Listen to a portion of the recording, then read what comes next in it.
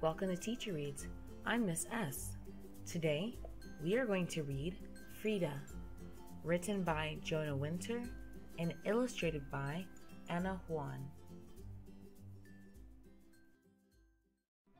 Frida enters the world. For little Frida, the world is Mexico.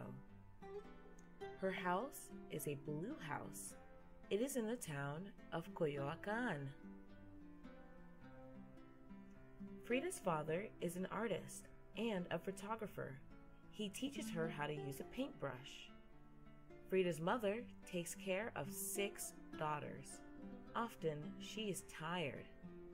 Often Frida is lonely, even though she has sisters. Enter stage left, Frida's imaginary friend. Her name is also Frida. They play games.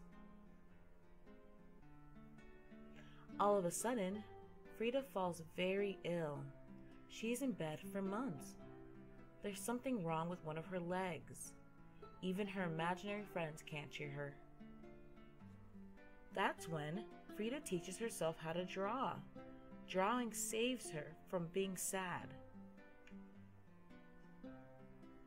After Frida gets well, she still wants to make art. So, she paints little paintings. They are copies of other paintings. Painting onto photographs is what Frida's father does for a living. He teaches her how to do this too.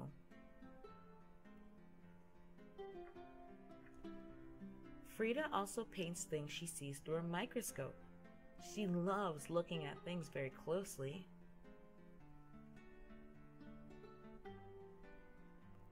At school, Frida studies science. She is bored. School is too easy. One day, Frida is riding the bus home from school.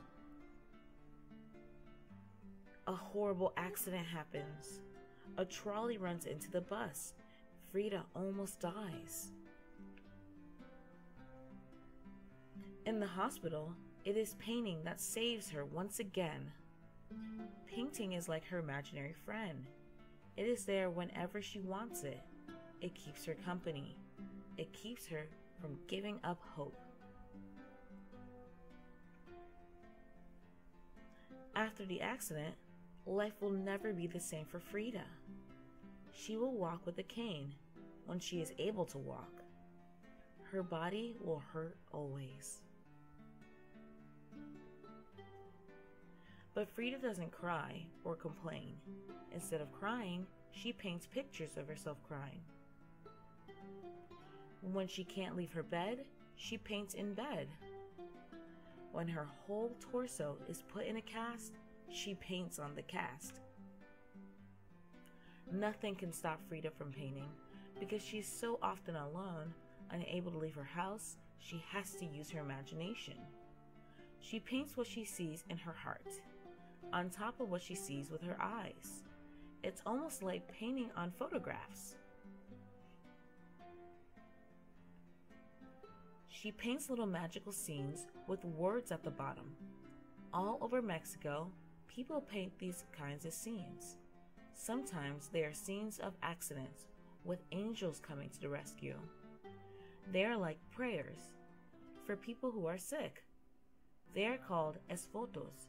Frida paints ex-votos of herself when she is sick or in pain. Frida imitates no one in her style. Her paintings are like nothing else. In museums, people still look at them and weep and sigh and smile. She turns her pain into something beautiful. It is like a miracle. Viva Frida! Long live Frida! The end. I hope you enjoyed reading Frida with me today.